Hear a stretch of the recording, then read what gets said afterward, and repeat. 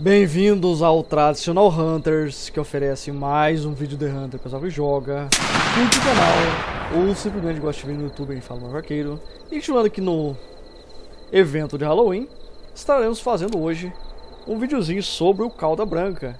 Aqui é a versão é, é, híbrida múmia, múmia híbrida, por assim dizer. Enfim, colocarei aqui alguns abates de alguns caldas brancas interessantes, não saiu nada muito grande, mas saiu algumas mais interessantes. Que aí pegando de evento. Esse primeiro aqui, eu estava conversando com o Papa e acabou que apareceu a escada branca, que ele abateu o animal. Eu coletei, mas foi um animal bem interessante, uma produção bem razoavelmente boa. E foram vários animais desse padrão. Eles que achei alguns. Esse aqui deu, deixa eu ver aqui, a produção 158. Acho que foi um dos maiores que peguei. Não, peguei 160, se não estou enganado. Mas saíram vários animais nesse padrão aqui de 150, 148, 150. 760 saindo bastante. Lógico que volta e meia acaba pegando alguns maiores, mas nesse padrão que está encontrando uma boa quantidade deles. Isso que vai ficar muito bacana. Porque estarei utilizando a foto desta foto, ou talvez uma outra foto, se pegar um animal interessante tirar uma foto melhor. Mas mesmo assim, o cauda branca é um animal que particularmente está bem chatinha, por assim dizer, que está bem arisco. E apesar de ele estar bem comunicativo até, mas de preferência, se for caçar esse animal, saia com a camuflagem normal. É lógico, a camuflagem do, do evento também dá para caçar o animal, mas ele vai te perceber muito mais facilmente. Então, para que fique um pouco mais prático, mais fácil, o ideal é você estar saindo com a roupa normal, que aí ele vai chegar um pouco mais próximo, vai ser mais fácil caso você abater o animal. Enfim, como eu disse, é, a maioria dos animais está saindo, todos os animais pequenos, muito cauda branca bosta. Peguei aí vários cauda branca de 50, 60 pontos, está saindo muito desse tamanho. E acabou que eu queria trazer animais interessantes não, não é, gravei qualquer porcaria. Só vídeo melhorzinho mesmo, para que ficasse um vídeo mais interessante. Enfim, este animal que já tinha dado um tiro dele, que era pequeno, é, não ia trazer vídeo de gravação dele, mas como no segundo disparo caiu no local, acabei aproveitando também. E nessa, é, nessa ocasião especial aqui, eu estava caçando aquele Elk no vídeo passado. Estava seguindo ele, na verdade, tinha no Elk. Estava seguindo ele, acabei encontrando esse calda no caminho. Então coletei também. Enfim, é, um calda branca, você pode optar por tirar tanto do peito para pegar o coração. É lógico que o pulmão também mata, mas ele corre um tanto bom. Ou então tirar no cérebro. A diferença, no caso que você atira no peito, ele pode acabar acertando o coração. Se caso não acertar o coração, o tiro pode pegar os pulmões, que acaba condenando o animal à morte. Já caso você tire no cérebro, se não acertar o cérebro ou vértebra, o animal vai acabar correndo. Uma coisa que eu notei, que eu estava testando essa questão, é a questão de quanto o animal corre. Fiz vários, acho que foi dois ou três animais que fiz isso para testar. Foi um animal que acertei corpo atrás e comecei a fazer o teste.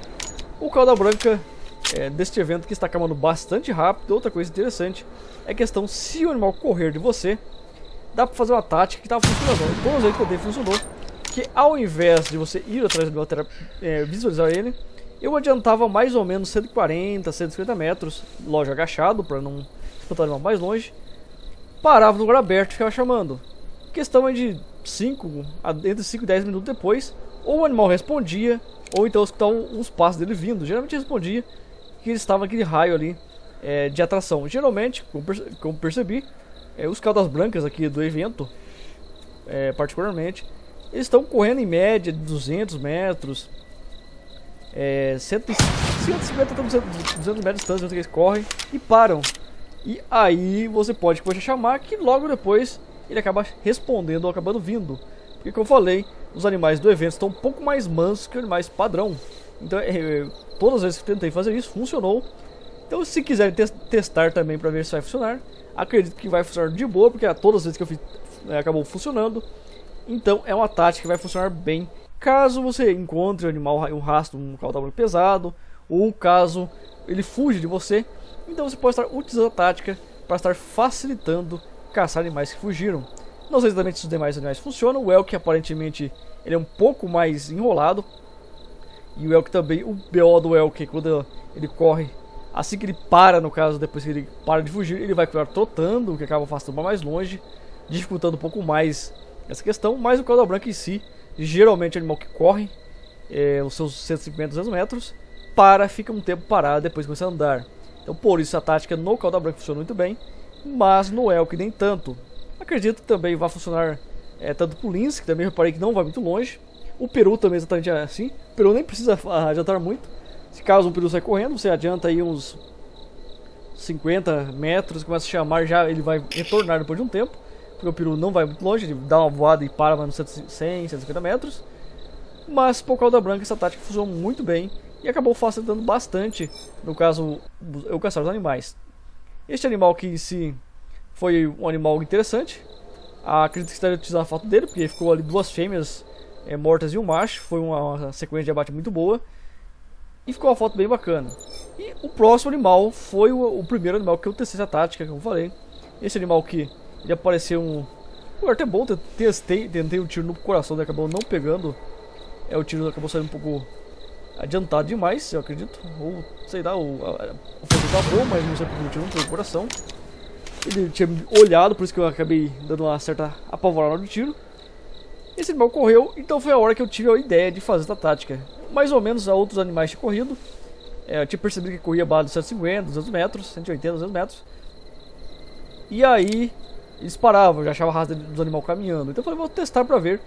Avançar mais ou menos 150 metros, entre 130 e 150 metros. E começar a chamar pra ver se depois de um tempo o animal volta. Exatamente o que eu fiz e funcionou no primeiro. Aí testei no segundo, no terceiro. Quando eu encontrava a raça do animal é, que tinha fugido, que prometia um peso razoável, até 100 kg, até 95 kg, fazia isso. Avançava, é lógico, tem que ser um animal que não né, cuida muito tempo. Avançava aí uns 150 metros, 130, 150 metros, já chamar e logo, pouco prazo depois, o animal respondia, geralmente dentro do raio de tração, em torno ali de Teve um animal até que respondeu, acho que uns 50 metros de mim, e não estava tão longe.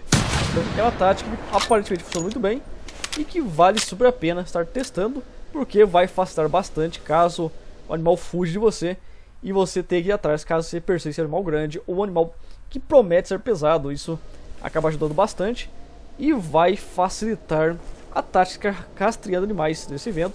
Se eu tivesse descobrido isso antes, acredito que seria bem mais fácil os animais correram que eu fui atrás e deu trabalho, alguns nem achando. Enfim, para fechar com chave de ouro esse vídeo, este animal que foi mais um animal de ataque, eu tinha contado o rastro dele, prometia ter 95 quilos, eu falei, eu vou seguir esse animal que promete ser pesado.